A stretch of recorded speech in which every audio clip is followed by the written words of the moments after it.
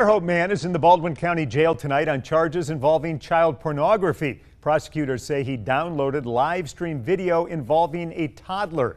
WKRG News 5's Debbie Williams joins us live. And Debbie, more charges could be coming for this man. Yeah, 53 year old Jeremy Kinsey was in court this afternoon for a bond hearing where we learned more about his charges, but we also learned what law enforcement says is a crime that, well, it happens a lot more than we think.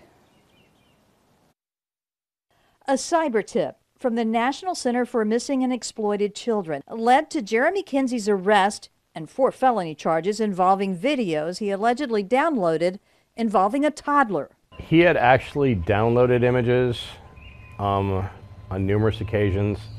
There's still some ongoing stuff going on with some of the items of evidence and whatnot, and there might even be more charges out there, but for now, there's four.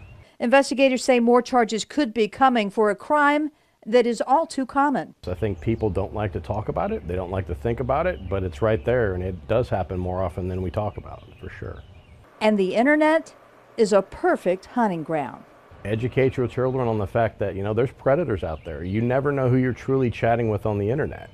Um, especially if it's a stranger. In court for a bond hearing, Judge William Scully set Kinsey's bond at a total of $100,000. If he makes that bond, he will be on house arrest with a GPS monitor. He cannot have contact with any minors or access to the internet. Now, investigators say that the child that was in that video was not local. They're still unsure, though, where that video originated.